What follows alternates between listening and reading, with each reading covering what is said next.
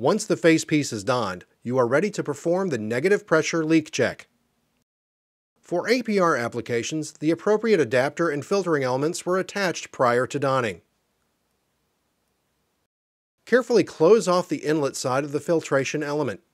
This can be done by either placing your hand over the inlet or by placing another airtight object such as a leather glove or plastic sheet over the inlet. Be sure to press lightly and do not distort the facepiece.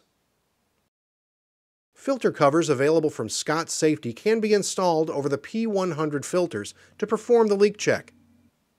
If these are used, press the covers against the filter inlets with three fingers of each hand. Scott also offers a fit check kit to assist with 742 series negative fit testing. Inhale slightly and hold breath to create suction. Leakage shall not be present and the facepiece shall be drawn slightly to the face. If leakage of air is detected, adjust the head straps or facepiece slightly, or the facepiece can be removed and redonned. Check the condition of the inhalation and exhalation valves.